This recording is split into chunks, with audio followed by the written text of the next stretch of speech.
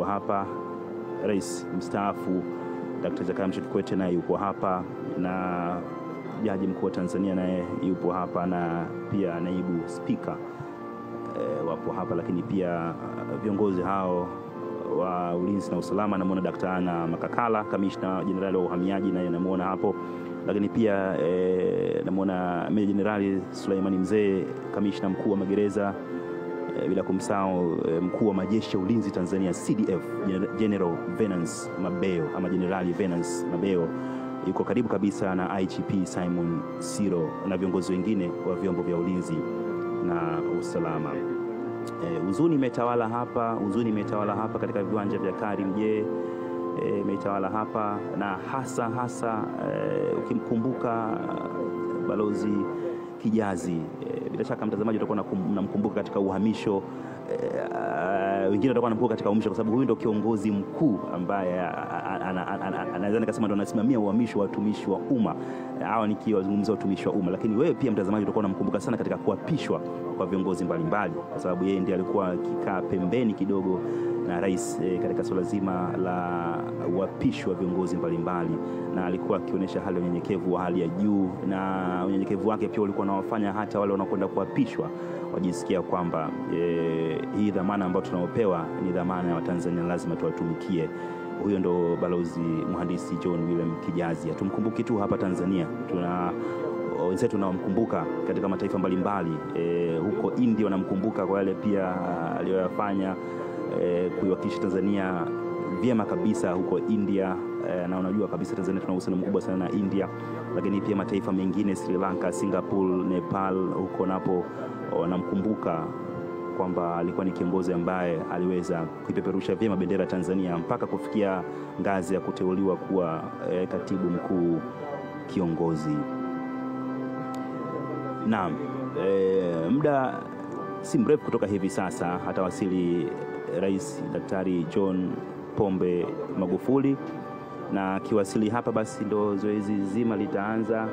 Itaanza misa e, utakuwa kuna misa ya kuombea mwili wa marehemu balozi Dr. Kijazi, na misa hiyo basi itasimamiwa na Padri Joseph Matumaini e, paroko wa parokia ya Mtakatifu Joseph. Hiyo itakuwa ni misa takatifu ambayo tunataraji itaanza e, muda mchache kutoka hivi sasa. Ukiangalia kwenye ratiba inasema ni saa nne itakuwa na itakuwa ina misa dakika dakika 45 na baada ya hapo basi, baada ya misa tutasomewa uh, wasifu wa mheshimiwa balozi mhandisi John Kijazi.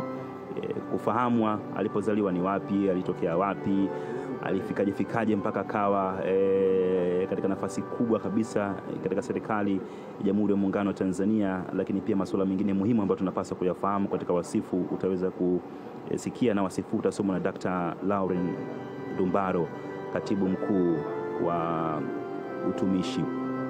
Baada ya hapo basi kutakuwa kuna salamu za viongozi, salamu kutoka mihimili wa mahakama. Salamu hizo zitakuwa za dakika 35 zinataraji kuanza saa tano kamili asubuhi mpaka saa dakika 35. E, salamu kutoka muhimili wa bunge zitatolewa na salamu kutoka serikalini. E, salamu hizo zinataraji pia e, kusimamiwa pia. Na nikiangalia hapa kwenye ratiba e, Mheshimiwa Jaji Mkuu Profesa Ibrahim Juma, lakini pia Mheshimiwa Musa Azan Zungu. Na kutakuwa kuna familia ya marehemu na jukwaa kuu kutoa heshima za mwisho. Hiko ndio kipindi ambacho e, kitaanza saa tano dakika 35 kwa mujibu wa ratiba mpaka saa sita na robo. E, na basi familia ndio wataanza, lakini pia kamati ya mazishi wataratibu suala hilo, lakini baada ya hapo safari sasa kuelekea Tanga itaanza.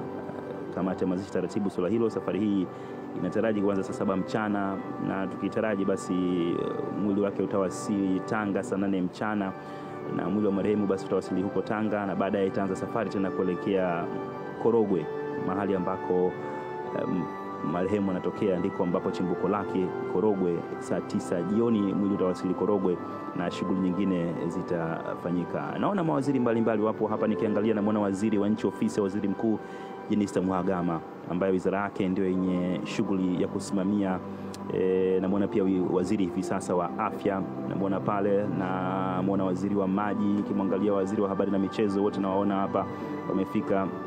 E, nilikuwa namtaja waziri wa nchi ofisi ya waziri mkuu Jenista Muhagama yeye ndo wizara yake na dhamana kusimamia e, shughuli kama hizi za misiba na shughuli mbalimbali za kiserikali. Kwa hiyo namwona hapa bado akiendelea kufanya mawasiliano ya hapa na pale e, na nimemwona ma- mawaziri mbalimbali wamefika hapa. Nitakuwa nakutajia kadiri e, navyowaona e, nitakuwa nakutajia kadiri jinsi ambavyo tuna wanafika na wengine wameshafika na nikiwaona.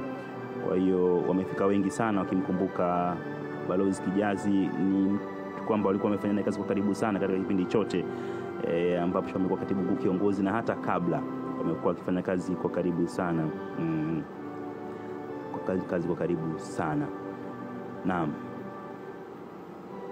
Bado tupo katika viwanja hivi vya Karimjee tukisubiri basi kuwasili kwa Rais Dr. John Pombe Magufuli. Watu mbalimbali wamefika hapa, vyombo mbalimbali vya habari, vyombo vyote niseme hivi e, vyote vimefika hapa. Hili ni tukio kubwa ambalo linatakiwa kurushwa e, na Watanzania wote ndani na nje ya nchi waweze kulishuhudia e, waweze kulishuhudia. Kwa hiyo ni tukio kubwa ambalo e, lazima lirushwe. Kwa hiyo vyombo vyote vya habari vipo hapa, vimewasili hapa na nilikuwa nakwambia mawaziri mbalimbali wamefika hapa. Nimemwona pia waziri wa elimu eh, Profesa Joyce Talichako eh, waziri wa afya Dr. Doroth eh, Gwajima naye yuko karibu kabisa, nikiangalia kule mbele na viongozi wanasimama hivi sasa. Bila shaka tumsikilize mshereheshaji kile ambacho kinaendelea hivi sasa, tuone ni kitu gani, lakini naona makatibu wakuu wanasimama, kisha kutakuwa kuna zoezi ambalo linaendelea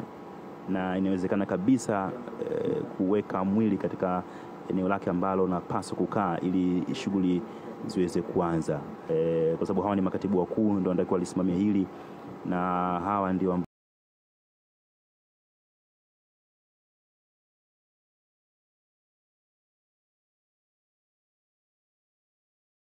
ambao walikuwa chini ya katibu eh, mkuu kiongozi. Kwa hiyo lazima wamsindikize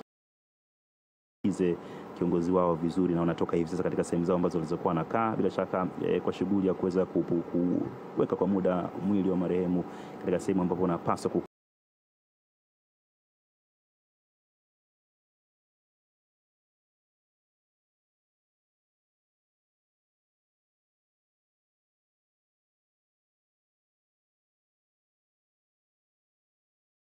ili basi shughuli ziweze kuanza e, na wakati huu pia tukitaraji e, Rais Dr. John Pombe Magufuli kuwasili e, muda wote kuanzia hivi sasa. Nipo na Henry Mabumo, nipo na mwenzangu Henry Mabumo. Henry, bila shaka umekuwepo katika zoezi hili kwa muda mrefu tokea nyumbani e, nyumbani kwa marehemu. Vipi, unatuambia nini? Ah, ninachoweza kusema kwamba ni, ni majonzi sana, ni majonzi na simanzi ambazo zimegubika Watanzania, zimegubika viongozi wa dini ama kwa hakika na hata viongozi wa serikali, kama ambavyo mwenyewe umeweza kuona tukio jinsi lilivyo, kwa sababu uh, ameondoka balozi mhandisi uh, John Kijazi eh, akiwa bado taifa linamhitaji katika nafasi aliyonayo kama, kama alivyokuwa ni katibu mkuu kiongozi. Na ni, ni, ni kiongozi ambaye eh, amehudumu eh, katika utumishi wa umma kwa muda mrefu sana, na kama ambavyo unaweza unavyoweza kufahamu ni kwamba huyu alikuwa ni, ni, ni, ni, ni, ni wa mabalozi wote waliokuwa wakiwakilisha Tanzania nje ya nchi katika miaka ya 2007 mpaka 2016 tunafahamu eh, na huyu ameshawahi kuiwakilisha Tanzania ka nchini India, Singapore, Sri Lanka, Bangladesh na Nepal. Kote amefanya shughuli wakati huo ya akiwa balozi ya Tanzania pale India, ambao makao makuu yake ilikuwa pale ni New Delhi na na- nachoweza kusema kwamba uh, unajua ukiwa kama katibu mkuu kiongozi yani uh, naona naona uh, rais wa Jamhuri ya Muungano wa Tanzania Dr. John Pombe Magufuli sasa ndo anaingia na natumai kuingia kwake sasa ndio kuanza rasmi kwa shughuli hii ya kumwaga mwenzetu uh, balozi mhandisi uh, John Kijazi. Naam, asante sana Henry. Mshereheshaji Shaban Kiso anaendelea. kwenye gari ambalo limebeba mwili wa marehemu. Naomba wote tusimame kwa heshima na taadhima. Rais wa Jamhuri ya Muungano wa Tanzania Dr. John Pombe Magufuli anawasili hivi sasa. Rais wa Jamhuri ya Muungano wa Tanzania Dr. John Pombe Magufuli anawasili hivi sasa.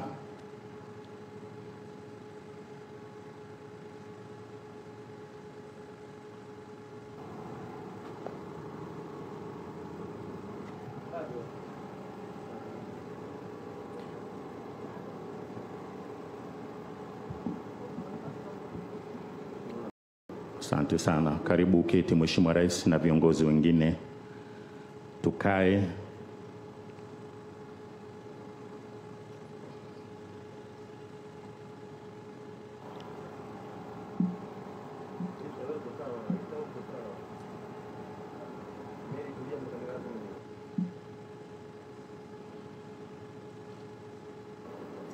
Naam, amewasili tayari Rais Dr. John Pombe Magufuli, na kama alivyosema mwenzangu mapema Henry Mabumo, kuwasili kwake basi ndio kutaanza rasmi misa e, ya kumwombea marehemu, na misa hii basi ikisimamiwa e, na Padri Matumaini na e, Rais wa Jamhuri ya Muungano wa Tanzania. Kinachoendelea hivi sasa ni maandalizi ya mwili wa marehemu kuletwa hapa mbele, na naona itifaki kule inaendelea kufanyika. Mwili huo utabebwa, lakini utasindikizwa na makatibu wakuu pamoja na sekretariat ya baraza la mawaziri na wakati mwili utakapokuwa unawasili hapa, kwa heshima na taadhima, tawaomba wote tusimame. Wakuu ndio ambao wanausindikiza mwili ukisogea katika sehemu ambayo unapaswa e, kukaa ili basi kuweza e, shughuli zote kuanza. Hao wanawaona ni makatibu wakuu na manaibu katibu wakuu e, wamejitokeza uh, kwa wingi na kumwaga basi mpendo wao ama aliyekuwa bosi wao e, Profesa e, Dr. e, kumradhi kumradhi balozi mhandisi John Kijazi na nilikuwa nataka nikwambie tu mapema hapo, Rais Dr. John Pombe Magufuli tayari ameshawasili ameshawasili, na kinachoendelea hivi sasa basi e, muda si mrefu kutoka hivi sasa shughuli itaanza rasmi na itakuwa ni misa ya kuweza kuombea mwili wa marehemu itakayoendeshwa na Padri Joseph Matumaini wa parokia ya Mtakatifu Joseph e, na baada ya hapo basi utasomwa wasifu wa Mheshimiwa Balozi Mhandisi John Kijazi, lakini hivi sasa e, shughuli mbalimbali zikiendelea pale za kuweza kutoa mwili e, kwenye gari ambao ulikuwepo na kupelekwa sehemu ambapo unapaswa kuwekwa na hatimaye e, shughuli hii iweze kuanza, kwa sababu viongozi wote wameshafika na Rais Dr. John Pombe Magufuli ameshawasili hapa. Naam, hawa ni mabalozi e, kwa nyuma kwa mbali, lakini wengine pia makatibu wakuu, lakini pia nimeona pia hata wakuu wa taasisi, kwa sababu nao wamejitokeza, wako nimeona kwa nyuma kule wa, lakini hao mbele ni mabalozi, ni, ni makatibu wakuu. Hao ni makatibu wakuu e, makatibu wakuu. Naam, Dr. John Pombe Magufuli ameshawasili hapa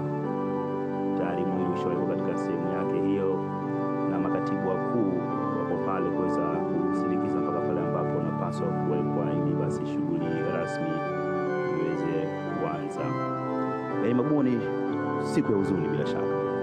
Ya, ni, ni siku kubwa na ni siku ya huzuni sana, na kama alivyokuwa anazungumza uh, Askofu Gwajima uh, nyumbani kwa marehemu pale, alisema kwamba uh, ni tukio la huzuni, lakini ameomba kwamba watu wasihuzunike sana, kwa sababu uh, haya hii yote ni mipango ya Mwenyezi Mungu, kwa maana ya kwamba Mwenyezi Mungu yeye alimleta duniani, lakini na yeye mwenyewe ndiye aliyemchukua.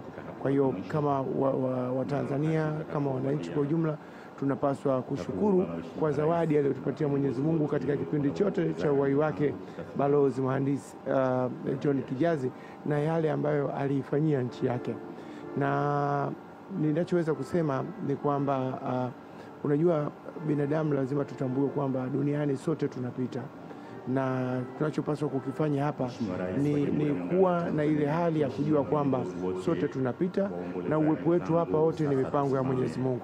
Sasa naona uh, mwili ndio unaingia sasa annual kama unavyoona ndio unaletwa mbele pale. Eh, naona sasa unaweza ukaendelea. Sawa sawa. Naam, mwili ndio unapelekwa katika sehemu ambapo uh, unapaswa kuwekwa uh, na hii itakuwa basi ni kiashiria kwanza kwa misa ama ibada ya kumwaga balozi mhandisi John William hebert Kijazi.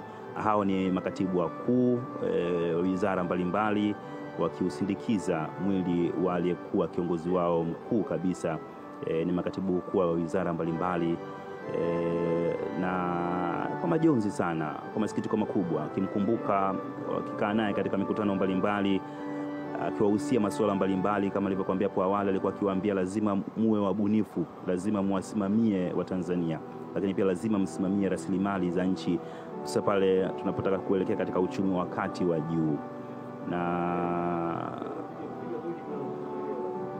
tutakapofika basi pale shughuli nyingine zitaendelea na mshereheshaji Shaban Kiso atatuongoza.